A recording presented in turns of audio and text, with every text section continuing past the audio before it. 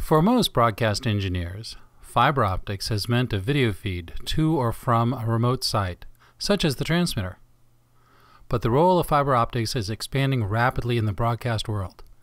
And to stay on top, broadcast engineers need to understand it and how to work with it.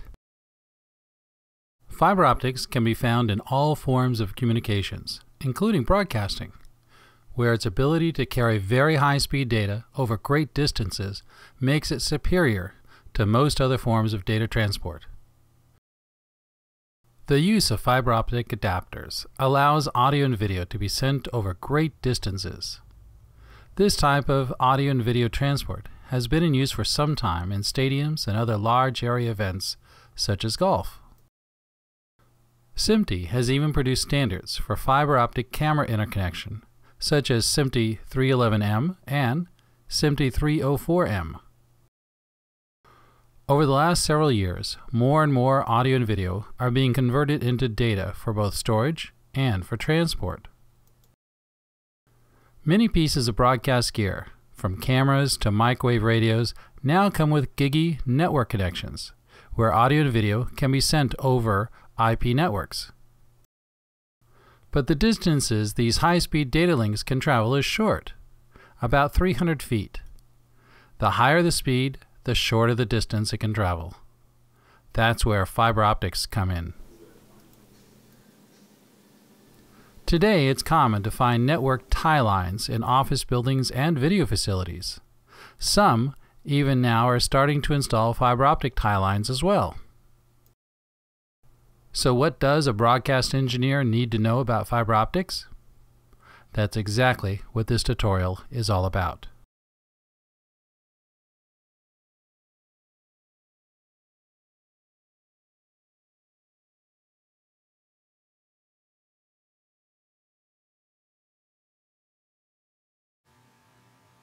An optical fiber is a flexible, transparent fiber made of glass that's an optical waveguide or light pipe.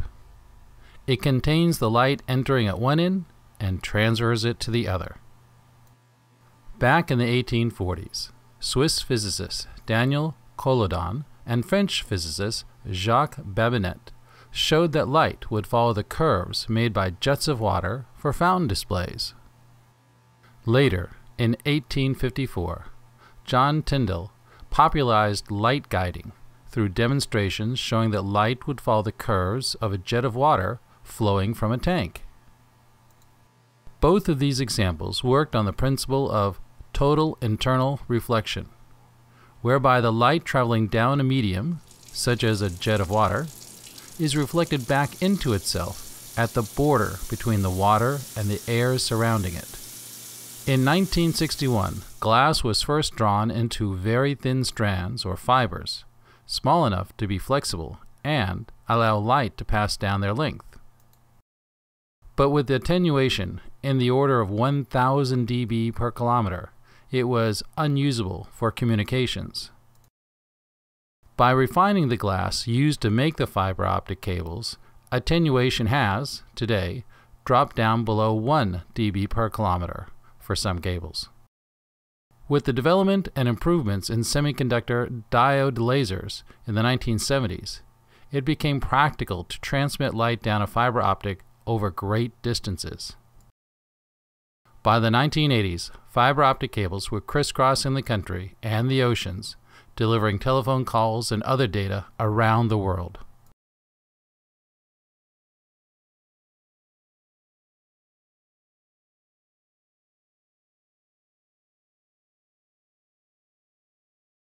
A fiber optic cable consists of three parts.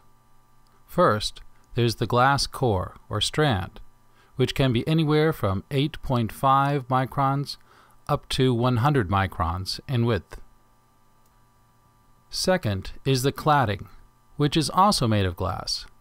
It totally surrounds the core and is a vital part of the light transmission. And third is the buffer, that protects the cladding from the environment. To give you an idea of the core's size, one human hair is about 100 microns in width. A single fiber optic cable can be made in lengths anywhere from 3 feet to 3 miles long. These links can be spliced together to make runs hundreds of miles long. Light rays always travel in a straight line, even when they pass through a transparent glass, such as a window.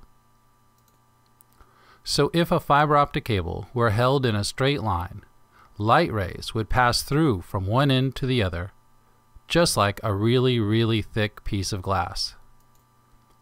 But what happens when you bend the fiber optic cable? How does it make the light bend with it?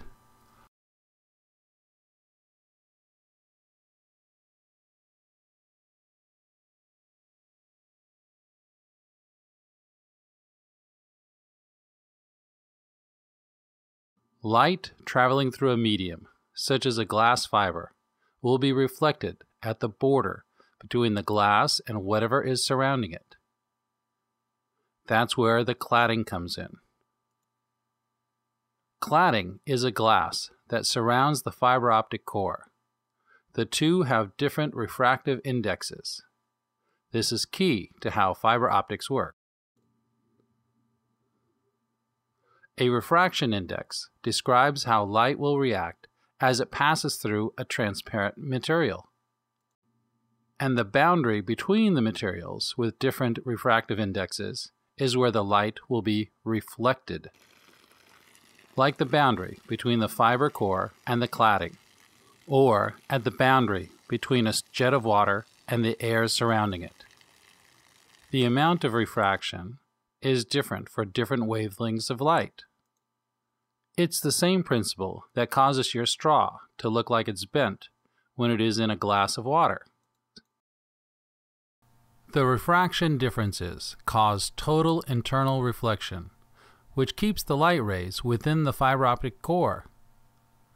Total internal reflection is the basis behind all fiber optics. The sharper the curve of a fiber optic cable, the more reflections occur as the light bounces from side to side within the fiber optic core. But if the angle is too great, say from a fiber optic cable that is bent too far, some or all of the light will escape into the buffer, attenuating the light signal.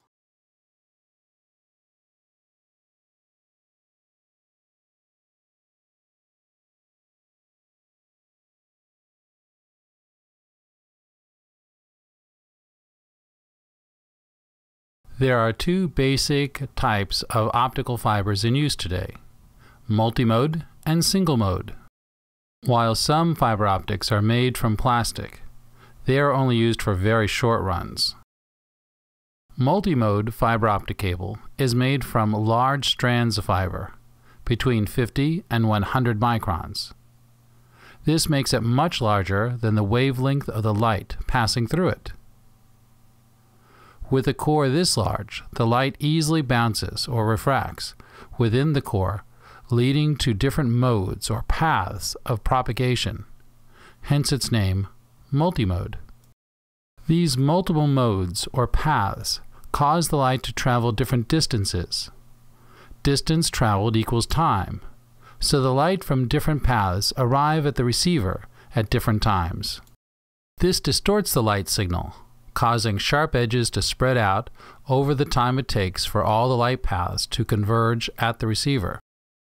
This distortion is called modal dispersion and limits the distance over which multimode fiber can be used. Multimode fiber optic cable can either be stepped indexed or graded indexed. This refers to the way in which the light interacts with the fiber and the cladding. In stepped index multimode fiber optic cable, the difference between the refractive indexes of the cladding and the core occurs as a sharp change or step, hence the name stepped index. The sharp step causes the light rays to reflect at the boundary uniformly. This consistent sharp transition leads to increased modal dispersion. It also leads to light loss, as some light rays are reflected at sharper angles and are absorbed into the buffer. because of the attenuation and increased modal dispersion. Stepped index multimode optical fiber is only used for short runs, such as within a room or a building.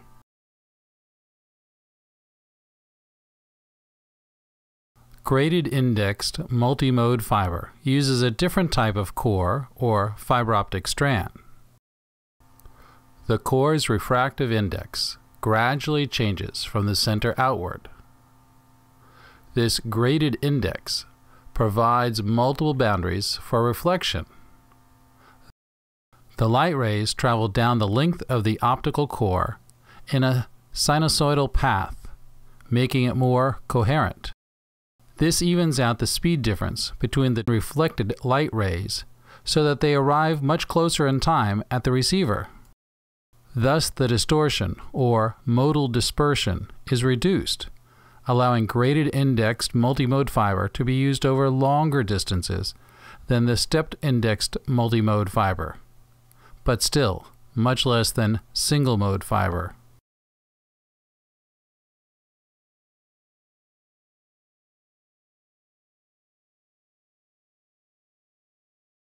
Because of its core's diameter, multimode cable has a large surface area in which to interface with both receivers and transmitters. Thus, physical alignment is much easier.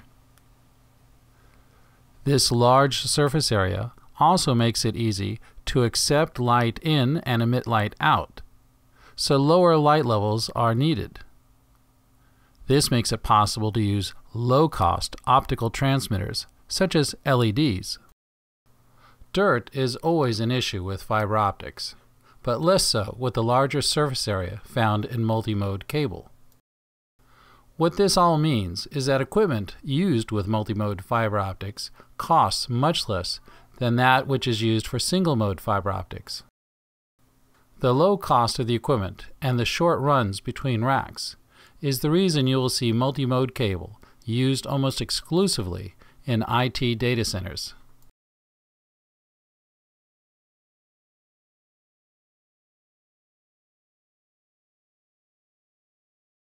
The single-mode fiber optic cable has a single small strand of glass, fiber, at its core. It ranges in size from 8.5 to 10 microns, or about one-tenth the size of a multimode core which is smaller than the wavelength of the light that propagates down it. Because of its small diameter, only a single ray of light can travel down its length, thus reducing modal dispersion considerably, but not entirely. But for practical purposes, there is only a single path or mode for the light, hence the name single mode fiber optic cable.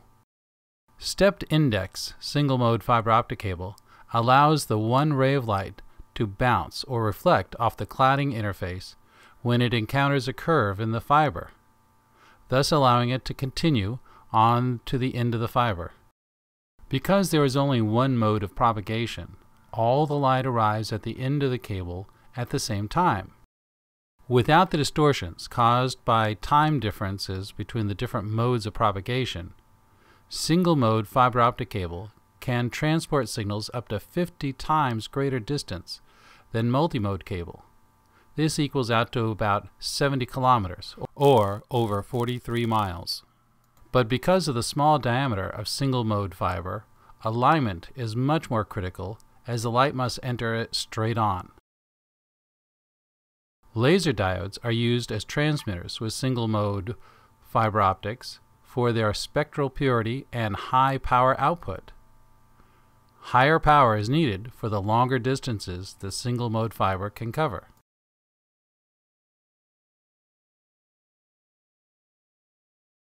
Due to the higher cost of the equipment, single mode fiber optic cable is not as widely used within buildings or computer network environments as multimode.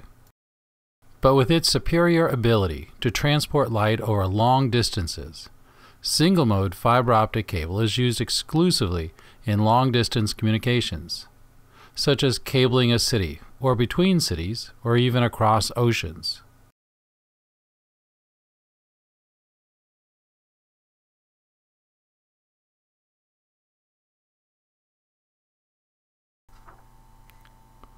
Fiber optic cable comes in a range of configurations. The simplest is just the fiber with its coating, while others need more protection and use a jacket and they come in single and dual varieties. Then there are the multiple strand versions. Single and dual fiber optic cables with connectors at both ends are called patch cords. They are noted by the size of the fiber and the cladding. A typical single mode fiber would be 9 125, where the fiber optic core is 9 microns and the cladding is 125 microns. A typical multi-mode fiber cable would be 62.5 125, where the fiber core is 62.5 microns and the cladding is 125 microns. The actual cable consists of the fiber, cladding, coating, and jacket. There may also be filler fibers used between the fiber optic inner cable and the outer jacket. These fibers are used to strengthen the cable and take the stress off the fiber itself.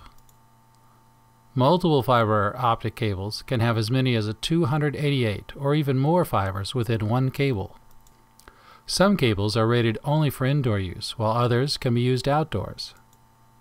There are tactical fiber optic cables that are designed for rough treatment, such as at sporting events, where it might be run over by vehicles or even twisted into knots. Armored fiber optic cable is encased within a metal sheath, similar to flexible metal conduit, with a plastic jacket surrounding it. The metal sheath will protect the fiber optic cable from almost any damage. Outdoor cables may be filled with gel or water absorbing powder to protect the fibers from water penetration, which can damage them. And there are ribbon fiber optic cables that carry multiple fibers in a straight row.